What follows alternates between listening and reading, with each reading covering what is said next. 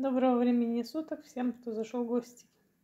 Праздники все еще продолжаются, но между столами, новогодними, рождественскими, праздничными хочется супчика по-быстрому.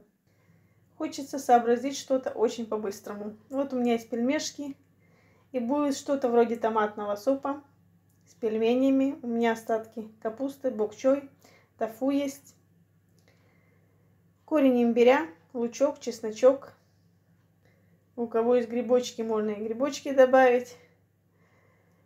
Жарим быстренько на сковороде глубокой, либо в кастрюльке с толстым дном, лучок, чесночок, корень имбиря и у меня еще шалот. Потом я добавлю томатную пасту, кипяток, проварю пельмени с капустой и в конце добавлю тофу. По желанию к зажарке можно добавить морковку, кто любит. Делаем зажарку и на готове держим кипяток. Можно к зажарке, особенно если будет морковка, а можно в бульон добавить томатную пасту. В томатный супчик добавляем наши пельмешки. Пельмешки у меня с грибами, с капустой. Ну, внутри они все перемолотое. К супчику добавляем соевый соус, рыбный соус или если есть устричный соус. И не забываем сухие специи, соль, перец, лаврушку. У меня есть лук-порей еще добавлю. И лук-порей я добавляю.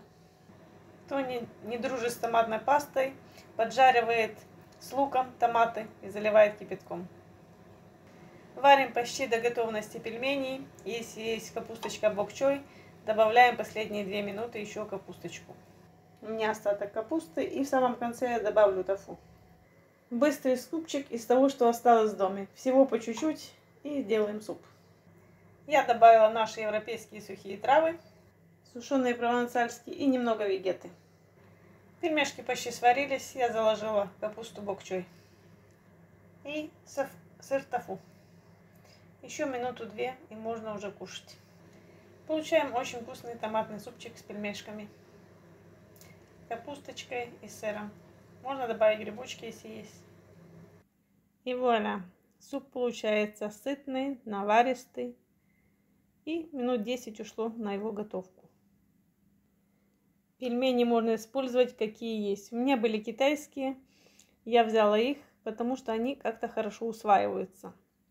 После наших пельменей мне желудок передает привет в течение всего дня.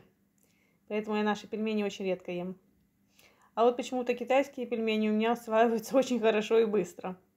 Они такие же вкусные, не хуже наших, но почему-то усвоение лучше проходит.